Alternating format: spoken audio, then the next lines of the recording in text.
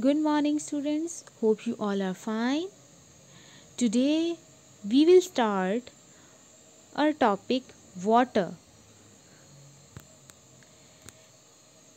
These are few ways in which you use water at home. Write the activities and the amount of water you use for each of them. As I wrote the amount of water by myself. The first activity, yes, drinking. How many glasses? I drink 8 glasses in a day. The second use is brushing, brushing teeth. How many mugs of water? Yes, one mug. I used one mug. Use bathing. How many buckets? One or two. As you are kids, so one bucket is enough. Write three other ways in which you use water. Yes, cooking, washing, watering plants. What happens when you keep a bucket under a running tap? Very soon water gets collected in the bucket. In the same way, when it rains, water gets collected in low areas on the ground. At home, most of us get water through pipes but where does this water come from? We get this water from rivers and lakes. There are many sources of water. Sources of water. Rain is our main source of water. Have you seen a puddle during the rainy season? On next page, activity is color this picture of children playing in the puddles.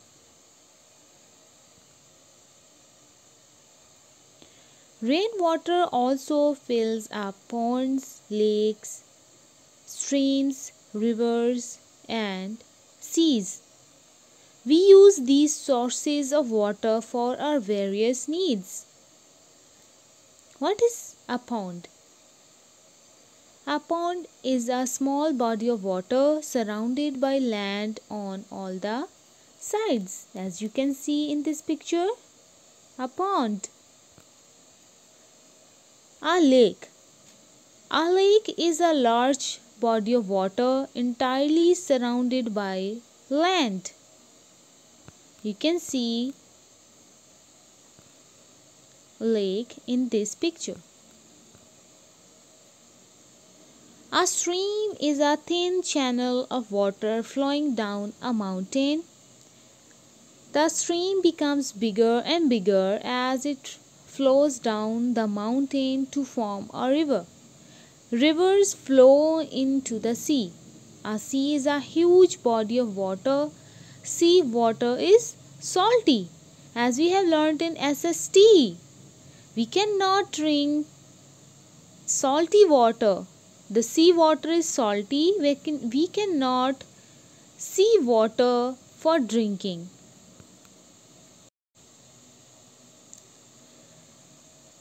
you can see a well. Underground water dear students. There is also water under the ground. Yes. And we dig wells to get groundwater drinking water. We use water from lakes, rivers and wells for drinking. We do not drink sea water because it is salty.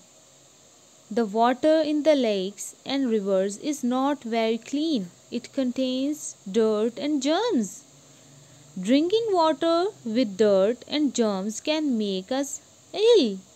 They must be removed from the water to make it fit for drinking as you can see in river dirty water in a river because the factory garbage and other dirts are in river.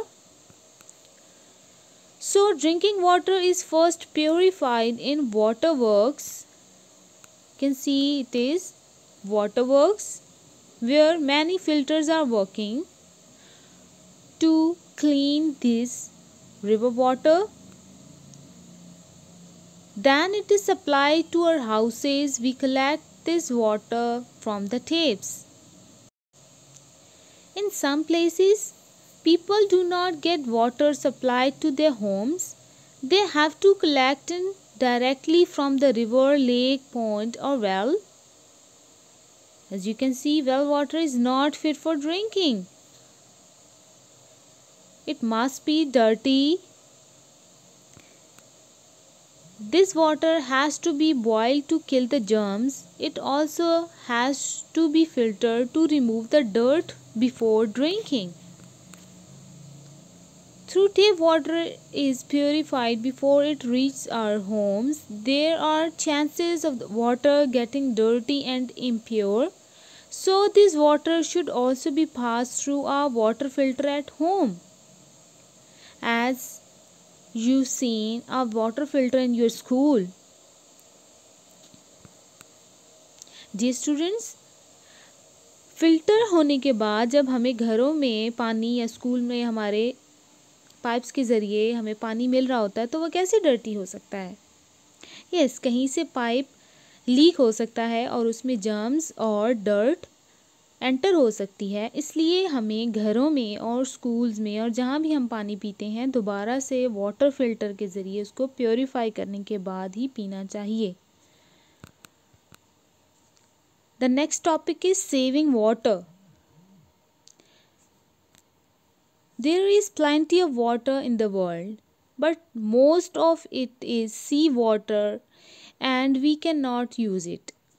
We can only use the fresh water in ponds, lakes, rivers, and wells. We get most of this fresh water through rain. Rain is our main source of fresh water. In many places, there is very little rain Rivers and lakes do not get filled up fully.